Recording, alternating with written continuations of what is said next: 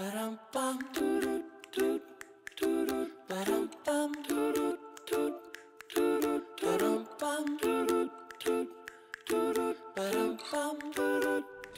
Aries, welcome to my channel. We're doing your dailies. This is 9 to 10, Sun, Moon, Rising, Venus, and Jupiter. We finished the weeklies, so catch up on that one, okay? So let's see what's going on for my Aries. I already drank a coffee. okay, here we go. Sun, Moon, Rising, Venus, and Jupiter. Here we go. Okay, let's see what's going on. 9 and 10 for my Aries. Here we go. You have your Queen of Wands. Could be dealing with the Leo. Let me see what's going on here. I feel someone is um, trying to get your attention here. This person is, um, well, not that they're attention seeker. They want you to look at them. Basically, this person's like, look at me, look at me, look at me. Okay. But instead of communicating or talking to you, um, they're not even being straightforward. And for you, it's just like, you gotta have the balls to deal with me over here. Sorry if don't so I have to say that. Mm-hmm. Person has none. Not sure how strong your your Mars energy, but um, that's the best that they can do. Okay. this can be your other person.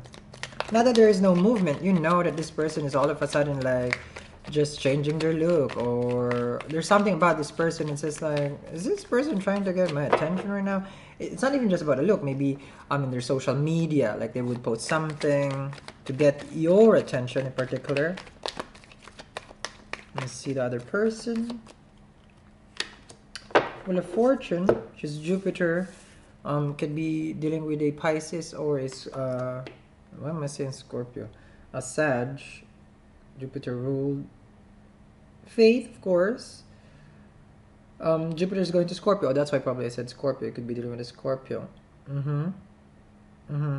Now, this person is trying to seduce you also for um, a level of reasons, and one is that they wanna, you know, they wanna be intimate with you. Let's just skip it that way. Um, this person has a growing, okay, when I say growing, um, growing desire for you. Vice versa also. Um, they will make their presence more announced about how much they find you attractive or you know but this is a very sexual desire that's what i'm feeling here and they're trying to lure you you know hello aries basically this is what this person is saying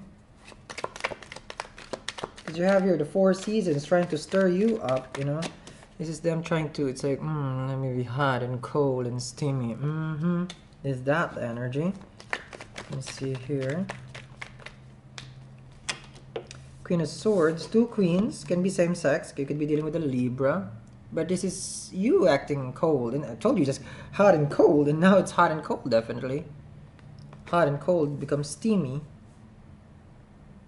But the Queen of Swords doesn't play no games. So if you're the Queen of Swords, or the other person is, it's like, I got no time for games it's almost like you want me, step up, then we'll see. You're not backing down.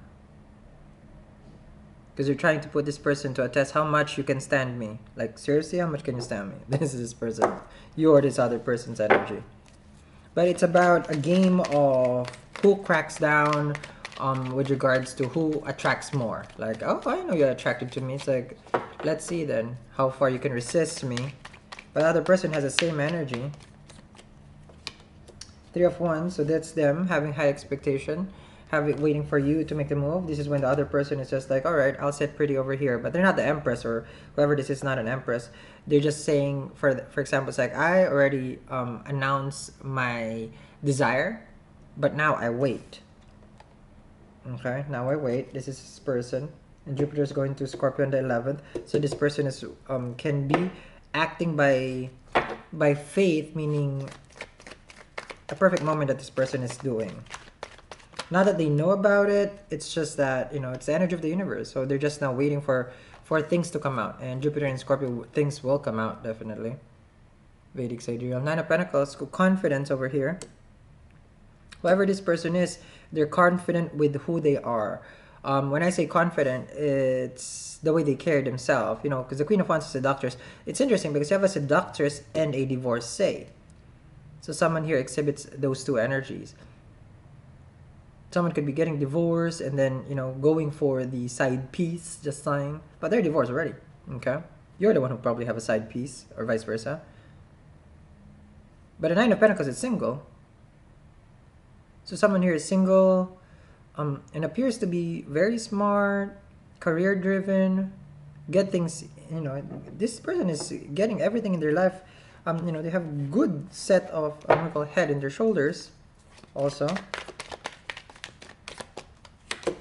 Death card, and I keep saying Scorpio, mm-hmm, and I said Jupiter, mm-hmm. So there's definitely something gonna happen on the 11th over here, because this is a transit. Like what I told you, it's more of planet, not not just a, how to say this, um, not just a tarot. You know, the planet is speaking, which what we do here also.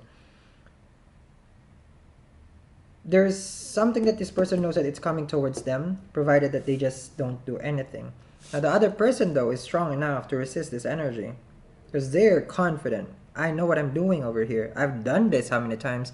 People go after me. They do. But the other person here is blessed by the divine in perfect timing that, that's when I say blessed by the divine. They know they're not gonna do anything. Can be a Scorpio also, of course. They're know that this person will transform. You may be single and confident, but you got nothing behind, you know, a Scorpio. Just like both Mars energy. Your Mars ruled.